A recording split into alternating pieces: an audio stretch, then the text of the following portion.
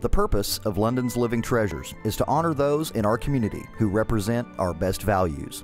The program is an effort to strengthen London's historic preservation by recording the stories of those who have lived our history in an admirable way. This year, we honor Glenn Calebs Sr.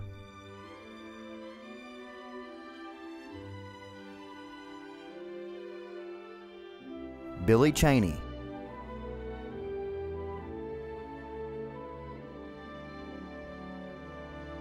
Jesse Lewis.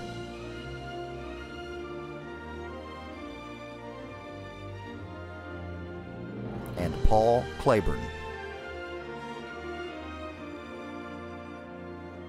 Although each treasure is unique, they share important qualities that have served them well in good times and bad. In honoring them, we learn what it takes to become a treasure. If you've ever stopped by the London Laurel County Farmers Market during the summer, there's a good chance you've met Glenn Calebs. The 90 year old Laurel County native rarely misses a chance to go to the market and sell his homegrown vegetables and chat with friends.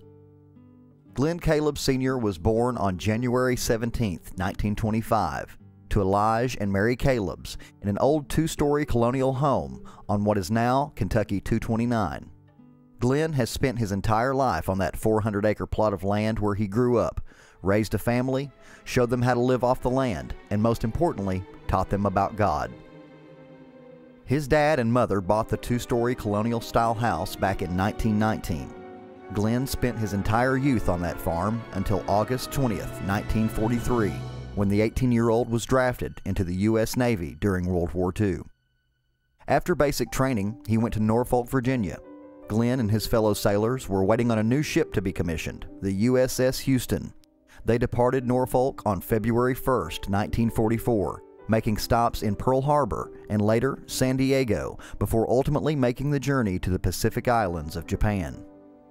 On October 14, 1944, his ship was torpedoed by the Japanese and they were forced to abandon ship during rough seas.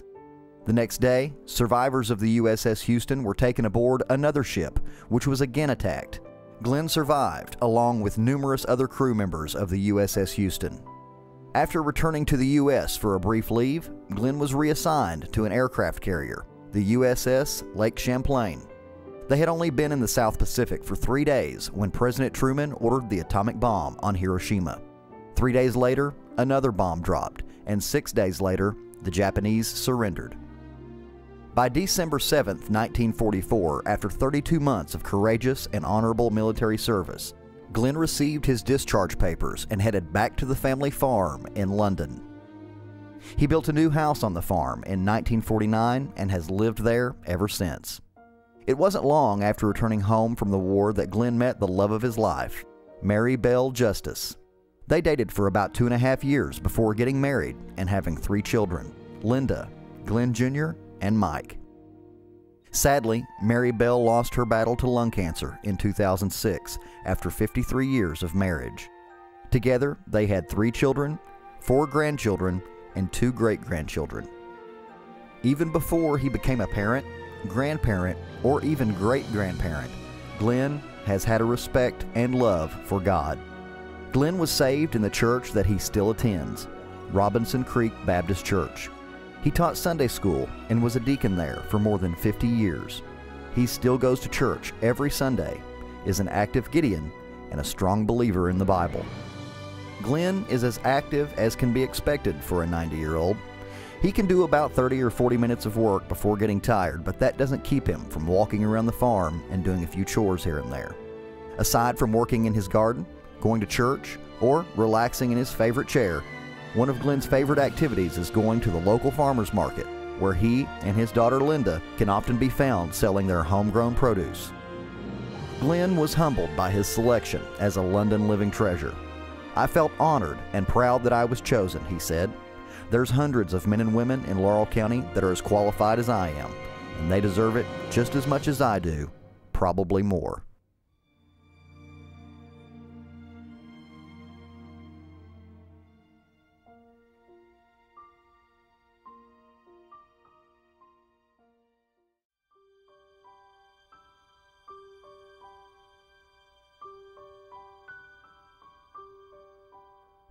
Billy Cheney isn't your average 83 year old lady.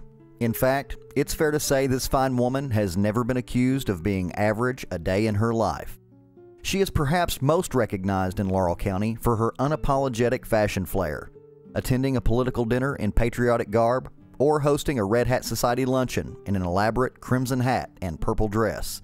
But Miss Cheney is about much more than the clothes on her back and the hats in her closet. She was born February 17, 1932, to Ernest and Dorothy Minks. They lived with Billy's maternal grandparents in Fariston, Kentucky, half a mile up the road from where Billy lives now. When Billy was seven, her father built the first roller skating rink in the area. Billy had learned to skate on the sidewalks of Corbin with one of her cousins and honed her skills when the rink opened. When Billy was ready to enter the eighth grade, her family moved back to Laurel County she graduated from school in Lily, or U of L, as Billy calls it, the University of Lily. When Billy was 17, Glenn Cheney returned to London after completing a tour in the Army and lumber grading school in Memphis. She had met him at the roller rink when she was 12 and always had her eye on him.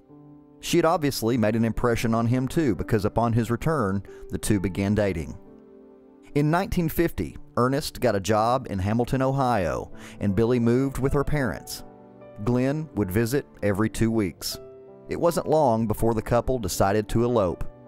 They were married on November 4, 1950, by a justice of the peace, and went to honeymoon in Asheville, North Carolina. On November 5, 1951, one year and one day after their wedding, Billy gave birth to their first daughter, Kathy. 19 months later, Glenna was born, with daughter Cindy to follow three years after that. The importance of church and the Bible has played a significant role in Billy's life. For 19 years, she and Glenn attended Fariston Christian Church, where she taught Sunday school three times a week, and Glenn was a deacon and an elder. Together, they helped the congregation raise funds to construct a new building. In 1969, they moved to Community Christian Church, which was then just an old two story house. They quickly became intrinsic to that congregation as well. Glenn was chairman of the building committee, and Billy was right beside him, helping wherever she could. After their girls were grown, Billy was ready to start the next phase of her life. It was 1980, and she was ready for a new house.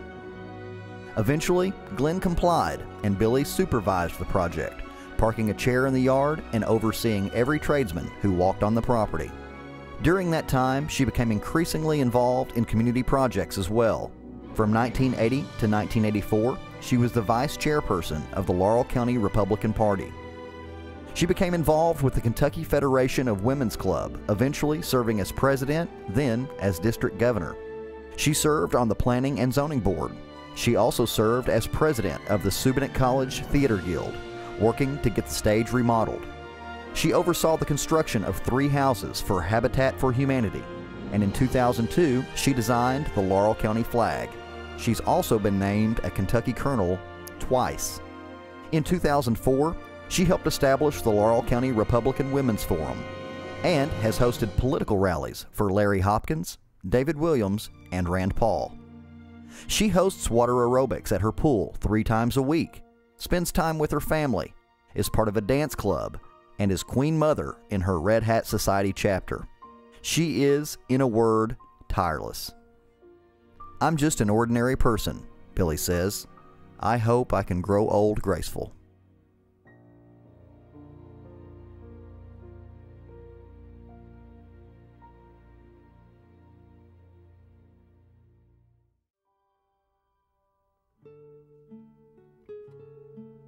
At 107 years young, Jesse Muriel Lewis lived through a time when travel from one county to another took days instead of minutes. Many travelers would camp along the trail as they headed toward their destination. At one time, Jesse Lewis was one of those travelers, leaving her native Leslie County to come to her parents' home in Laurel County in 1927. She lived in a time when electric and indoor plumbing were not available. Kerosene lamps were used for light. Heat came from the fireplace, and the water source was a creek or a river. Most food was raised on a farm, with small stores offering staples like sugar, salt, and eventually flour. She's seen many changes in the world over her lifetime and enjoys sharing her stories with friends and family. Born in Leslie County in the Cutshin community on June 22, 1908, Jesse was one of 10 children born to Grant and Elizabeth Muncie Murrell. The family was comprised of five girls and five boys. She grew up in a holler known as Devil's Jump Branch. They moved from Leslie County to Laurel County in 1926 so her father could begin farming. Jessie remained in Leslie County to continue her education, then came to spend the summers with her parents. She attended high school for two years, then went on to receive her teaching certification. She worked her way through school and also worked at Mary Breckinridge Hospital in Hyden, Kentucky. She rode horseback to school during her three years as a teacher, then came to Laurel County, marrying Winfrey Homer Lewis on June 14, 1930. She gave up teaching to stay home and help with the farm, and the couple was blessed with their only child, son Winfrey, in 1934. Homer was drafted into the Navy in December of 1943 during World War II, and Jessie was left behind to care for their son, the home, and the farm. She also took care of her mother in law, who was battling cancer, and soon after her death, her father in law became ill, and Jessie cared for him as well. After Homer returned home from his service in the Navy, he bought a two story farmhouse, the site where Jessie still lives. It was only after the war ended that the Lewises got electricity in their home. She grew up with a brood of boys and described herself as a tomboy, playing basketball, riding stick horses, and fishing in the Middle Fork River in Leslie County. Later, she would spend her time socializing with other women in the community by stringing beans and making quilts. Exposure to that way of life inspired Jessie to continue the craft, and she describes herself as a good hand at quilting. When Homer Lewis returned from the military in October 1945, the family continued farming, using the natural resources to support themselves. As the years went on, Homer became ill and spent the last 25 years of his life in a nursing home. Jessie learned to drive, got a car, and never missed a day of going to give him his lunch. They were married for 65 years. Jessie Lewis remained active and independent, continuing to drive until she was nearly 90 years old, and living at her home alone until she was 104 years old. After a bad fall, her granddaughter, Gregory, began staying with her, caring for her day in and day out. Jessie is a member of the Horse Creek Baptist Church in Clay County and loves to attend as often as she can.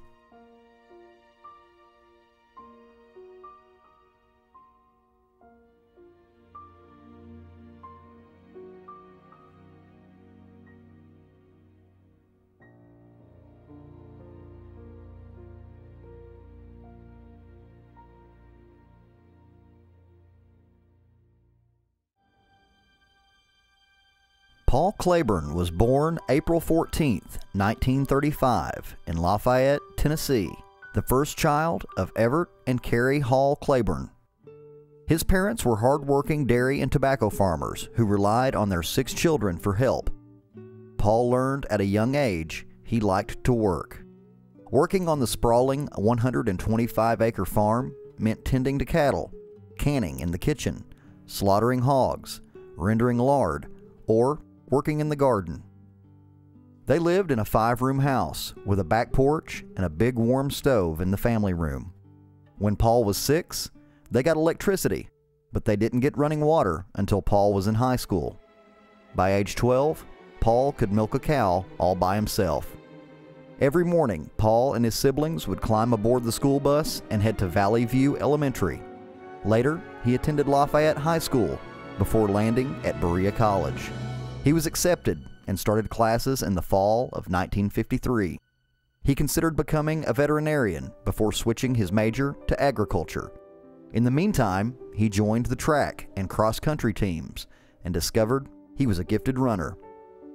During the second semester of his freshman year, Kathy Harris walked in late to Paul's lit class and he took notice. They were both members of the Baptist Student Union and they started talking. Paul asked her on their first date, and it wasn't long before he knew that she was the one. Paul and Kathy were campus bound, studying together and going to the campus movies on Saturday nights. All the while, Paul became increasingly involved on campus. He was captain of the track team, a leader in the agriculture union, and was in charge of a small dorm. Paul graduated in the spring of 1957, and days later, he and Kathy tied the knot. Later that summer, Paul got a job as an assistant county 4 H agent at the Extension Office in Rockcastle County. Paul excelled with 4 H, but the draft was in effect, so he joined the National Guard, where he served for six years. Kathy worked as a home economics extension agent in Estill County, and Paul joined her to do 4 H work after his six months of active duty was completed. During their five year stay in Estill County, they learned they were unable to have children on their own and began adoption paperwork for a little boy. It was a long and difficult process, but on December 18, 1962, Paul and Kathy were united with their baby, five month old Todd. Paul was accepted at the University of Maryland, and in September of 1964, the family moved to the Washington, D.C. area so he could study. Paul was able to complete a two year degree in only 12 months. While in D.C., extension leaders from Kentucky asked Paul to move to the office in Laurel County. Paul was excited about the move, and his first order of business was developing the J.M. Feltner 4 H camp. When Todd was four, the Claibornes added baby Tiffany to the fold, making the family complete. Kathy went to work as a teacher and played the piano at First Baptist Church on Sundays, where Paul was a deacon and involved in the church. By the 1970s, the 4 H camp had grown by leaps and bounds.